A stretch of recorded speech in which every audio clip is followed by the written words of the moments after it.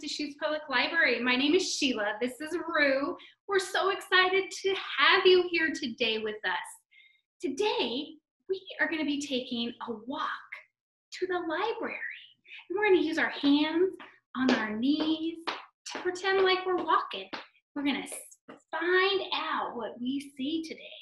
So let's get started. Let's start walking. Walk into the library, what do you see? Can you hear a noise? What could it be?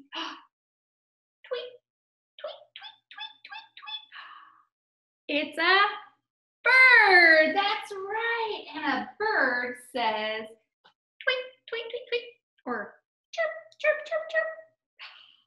Let's run to the library. Run to the library. What do we see? Can you hear?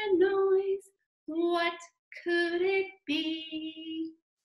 Oink, oink, oink, oink. That's right. It's a pig. Let's walk again. Walk into the library. What do you see? Can you hear a noise? What could it be? That's right. It's a car. Oh. Let's run to the library again. Ready? Run to the library. What do you see? Can you hear a noise? What could it be? Ribbit. Ribbit. Ribbit. You're right. It's a frog. Oh, let's walk again. Ready? Walk into the library. What do we see? Can you hear a noise? What could it be? That's right. It's a cat. Oh, nice job.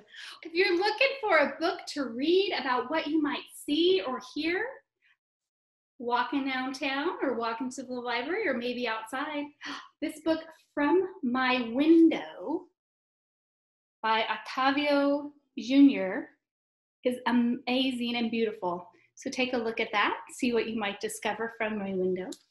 Or if you're looking for a little more excitement, honk honk, vroom vroom, sounds from the city by Jennifer Shand. It's fun and all the great noises you can make.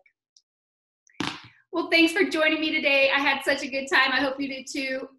And I hope to see you soon.